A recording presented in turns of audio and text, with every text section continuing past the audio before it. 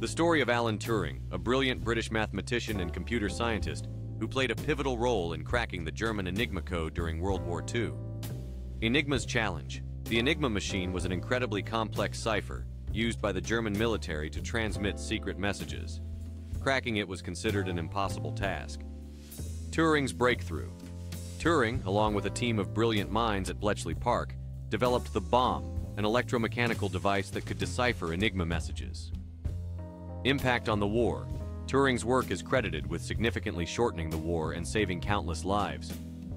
Tragic end. Despite his immense contributions, Turing was prosecuted for homosexuality, a crime in Britain at the time.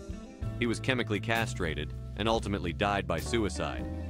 Turing's story is a poignant reminder of both human ingenuity and the tragic consequences of prejudice. I hope you found this story interesting as well. Please like, share, and subscribe to my channel.